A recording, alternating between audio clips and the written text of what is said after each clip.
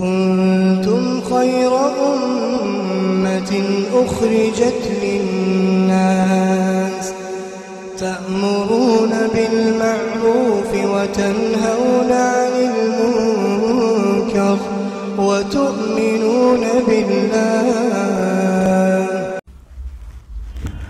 Lokman Hekim'in oğluna nasihatleri derslerine devam ediyoruz inşallah. Dediğim gibi bu bayağı sürecek bu e, ders inşallah. Ama ders derken ders yani bildiğin al bunu üniversitede okut. Ama nerede? Şimdi Euzu billahi mineşşeytanirracim. Bismillahirrahmanirrahim. Ey oğul, her işinde ilim ve tecrübe sahibi kimselerle istişare et, onların fikirlerini almaya çalış. Bak her işinde ilim ve tecrübe sahibi kimselerle istişare et. İstişare ne demek? Danışmak. Her işte ilim, tecrübe çok önemli. İlim ne demek kardeşim? Bilim, bilgi. Mesela kardeşim ortada bir iş var. Nasıl yapacağını bilmiyorsun. Ya ben şimdi ona gidersem işte diyecekler sen de iş bilmiyor musun? Ya ben şuna gidersem sen de bu kadar cahil misin? Ya ben işte utanırım. Ben sıkılırım. Ya kardeşim sen bir şeyde birine danışmazsan, tecrübe sahibi birine gitmezsen bu sefer ne olacak kardeşim? Yanlış yapacaksın. Sen ilim ve tecrübe sahibi birine gitmezsen o konuda belki de çok önemli bir şey. Belki de orada yapacağın yanlış iş sonucu belki de belki de hani ne diyeyim parayla da diyelim mesela belki de dolar olarak dersin belki 100 bin dolarlık bir sıkıntıya düşeceksin. Belki de TL olarak söyleyeceksin 100 bin liralık bir zarara düşeceksin para olarak. Belki de öbür türlü mesela mal olarak maddi olarak da başka sıkıntılara gireceksin kardeşim. Nereden biliyorsun? Sırf çekindiğim için aman bana işte iş bilmiyor derler. Aman cahil derler. Aman şöyle aman böyle. Sırf desinler görsünler diye yaşanan bir hayat insanı işte bu hale getirir kardeşim. Çekinmeyeceksin. Ya bilmiyorum. Bilmemek ayıp değil. Öğrenmemek ayıp. Öğrenmemekten maksat ne demek kardeşim? Bilen biri illaki bir işleri vardır. Allah Celle Celle öyle bir nizam koymuş ki kardeşim. Birisi doktor, birisi hasta. Birisi öğretmen, birisi öğrenci. Biri patron, biri işçi. Böyle bir düzen var kardeşim. Herkes öğretmen olsa kim öğrenci olacak? Herkes patron olsa kim işçi olacak? Herkes alim olsa kim cahil olacak? Herkes zengin olsa kim fakir olacak? Olacak işte. Allah Celle Celle böyle bir nizam getirmiş.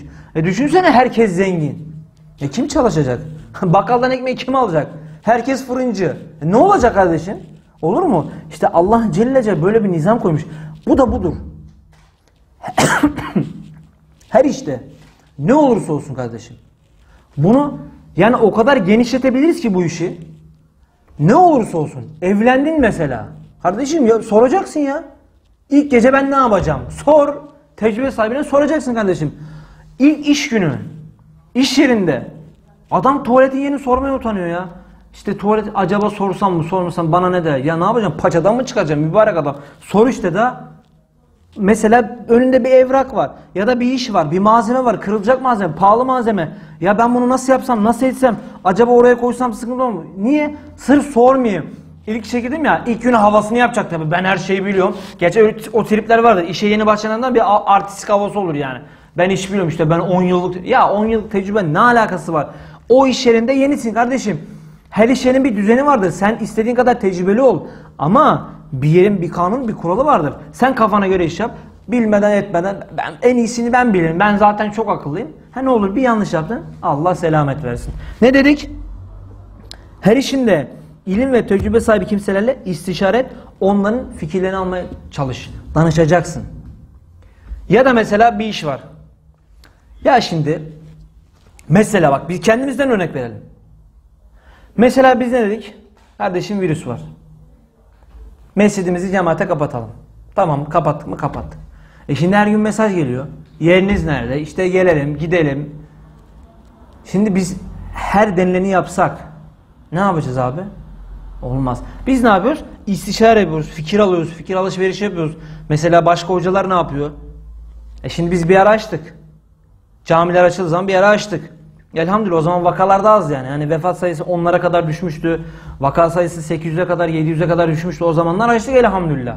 O zaman iyiydik. Ha sonra ne oldu? Vakalar artınca dedik ki bir dur. E biz ne yapacaktık mesela?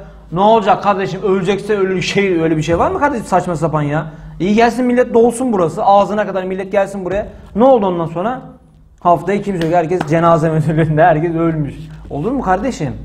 Yani bu hastalık da şöyle bir şey. Yani herkese de aynı etkiyi göstermiyor.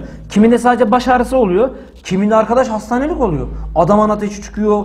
Ne bileyim öksürük oluyor. Kimisi baygınlık geçecek gibi oluyor. Kimisinde her şey oluyor. E sen şimdi buraya kimseye istişare etme, kimseye danışma, kendi kafana göre. Gelsin cemaat kardeşim buralar dolsun, şekil olsun bak benim mesin. Ya olur mu öyle bir şey kardeşim? Bak Cübbeli Ahmet Hoca aylardır evinde yapıyor. Şimdi Kerem Önder Hoca da zaten kimse açmıyor.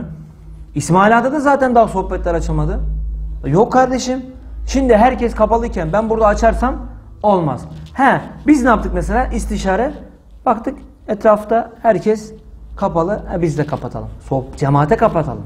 He vakalar düşer. Sayılar azalır. O zaman deriz ki tamam kardeşler gelin. Çünkü insanlar çok koptu. Bak insanlar gerçekten şu koronadan sonra bu sohbet olsun, cami olsun, medrese olsun çok uzaklaştı. İnsanlar akın akın günaha. Akın akın günahlara koşuyorlar. Sokaklar rezillik. Gerçekten öyle. Hani kimsede de bir dert yok ya arkadaş. Müslüman evladısın. Ya bir bak şöyle bir sokaklara bir bak. İnsanların ahvaline bir bak.